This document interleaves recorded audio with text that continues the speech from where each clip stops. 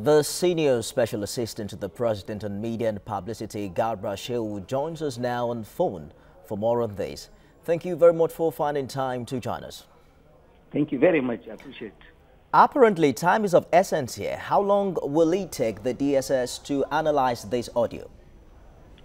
Uh, they are working at their pace. Uh, it is important at this time that the father of our daughter, Leah Sharibu, has confirmed that this is the voice, this is the picture. That should help the DSS in the analysis they are doing.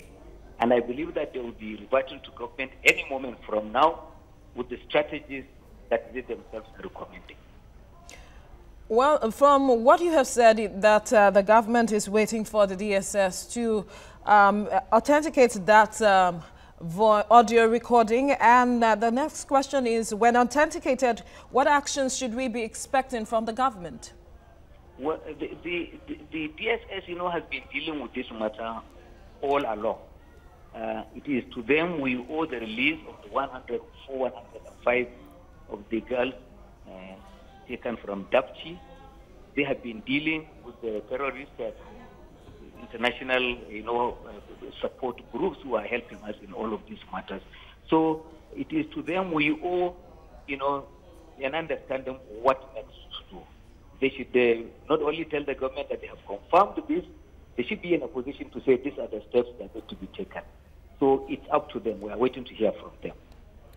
The presidency has earlier promised that it will not sit on its oars as regards the release of Leah Sharibu. Can you tell us in clear terms what exactly the presidency, in collaboration with security agencies, are doing to make this a reality? Well, uh, the president's position is very clear on this matter. Nothing, absolutely nothing will, will be spared in getting Leah and all of our girls who are being held by terrorists against their own will. Government will spare nothing, meaning, in essence, that whatever it will take, negotiation, armed attacks, or diplomacy, or exchange, whatever it is, the president is sparing no effort. And, uh, and we are waiting to, to get the clue and uh, indications as to how next to proceed. Well, when we spoke to Leah's father earlier, he said nobody, no governmental organization, nobody has uh, gotten in touch with him since this incident. I would like to get your reaction to that. Well, I think it depends on at what time you spoke with him.